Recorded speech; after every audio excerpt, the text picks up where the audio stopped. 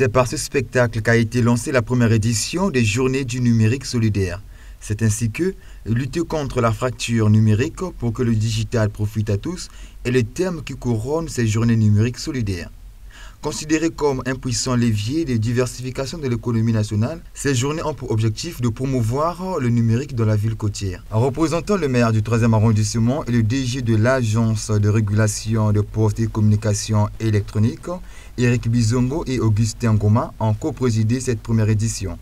Prenant part à cette cérémonie, l'association de PACA pour l'intégration et le développement est le bienfaiteur de ces journées de formation et de l'édification à l'endroit des populations pour des conférences dédiées aux métiers du web numérique sur les réseaux sociaux et le digital, des ateliers sur la programmation sur le web design, des formations gratuites. ARPCE accompagne ce projet dans le cadre de véhiculer le numérique un appui qui s'inscrit dans le cadre de la campagne Smart ARPCE lancée l'an dernier, a souligné le chef d'antenne Pointe-Noire Augustin Goma, représentant le DG. Après les mots de circonstance et d'usage, une visite guidée du site a mis un terme à cette cérémonie.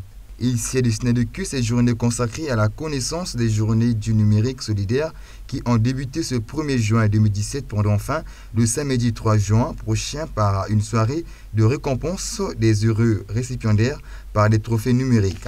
Un petit sourire.